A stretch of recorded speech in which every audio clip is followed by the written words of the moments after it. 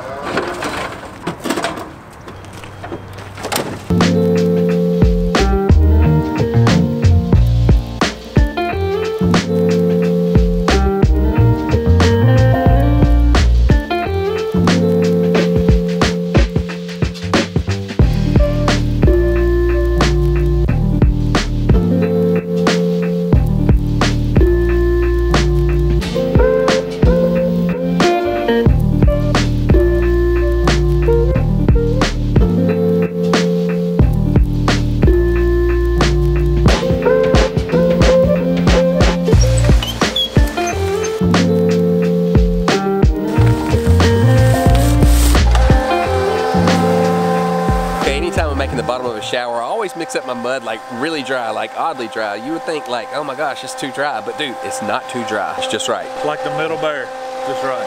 Yeah. Daddy's was too hot, Mama's was too cold. Pour the water in because I don't know how much you have. There it is, right there. It's beautiful.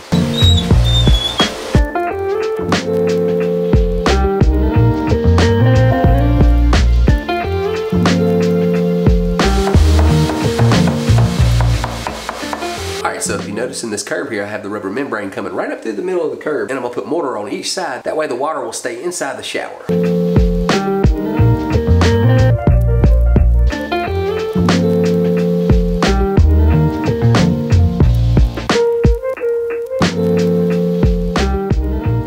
I asked just to be courteous. Yeah. We were gonna stay and finish it. You're right. And you know what? There's nobody I would rather stay late with other than you, Tate. This ain't late. You did. We'd stay a lot later than this Yeah. sometimes. I like our handshakes too. Me too. You have a good weekend. Catch some fish, man. I like it better since you got pink on your hand. Oh. and as far as the house goes, they get the front of the roof deck. And last night they actually stayed really late and they got the back of the roof max felted.